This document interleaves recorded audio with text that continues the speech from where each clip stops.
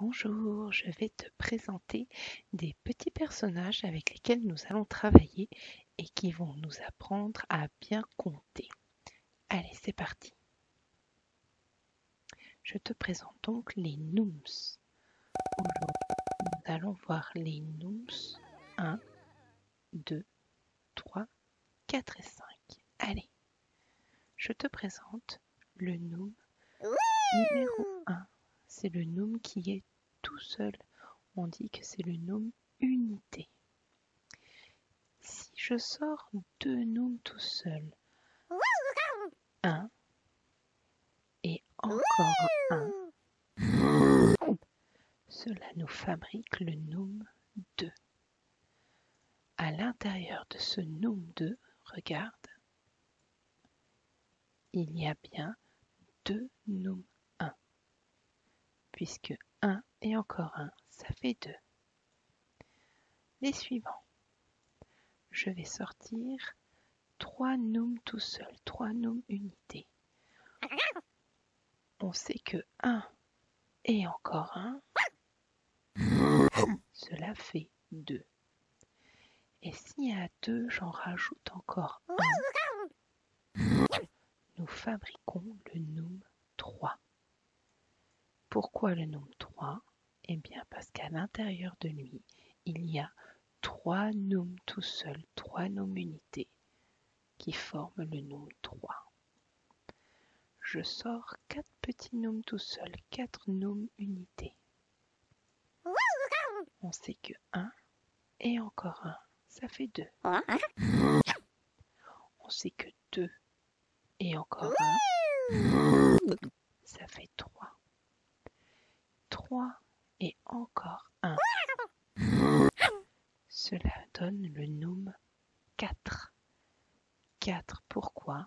Parce qu'à l'intérieur, il y a 4 noms tout seuls, 4 unités.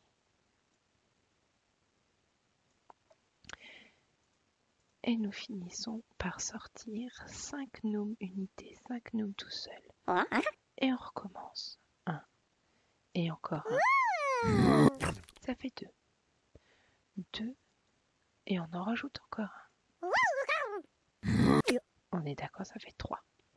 3, on en rajoute encore un. Ça fait 4.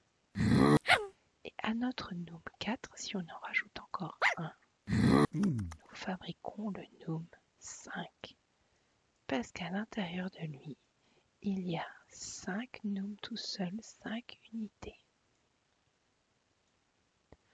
Voilà, je t'ai présenté les noms. Le nom 1, le nom 2, le nom 3, le nom 4 et le nom 5. À présent, je te montre la feuille avec laquelle nous nous entraînons à l'école pour écrire les nombres. Alors, si tu as de la pâte à modeler chez toi, idéalement, tu pourrais essayer de fabriquer la quantité 1 le nombre 1 avec de la pâte à modeler que tu remets sur ce chiffre-là. Si tu n'en as pas, tu passes à la phase tout de suite où on s'entraîne avec le feutre Velleda ou avec un feutre tout court. Et donc tu vas bien commencer par ici, ce point-là.